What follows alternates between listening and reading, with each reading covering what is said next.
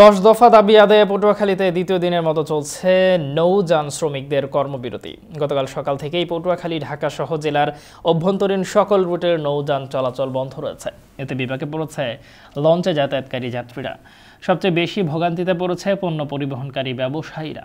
এদিকে নৌযান বন্ধ থাকায় ঢাকা পটুয়াখালী রুটে বাসে যাত্রীদের চাপ অনেকটা বৃদ্ধি পেয়েছে।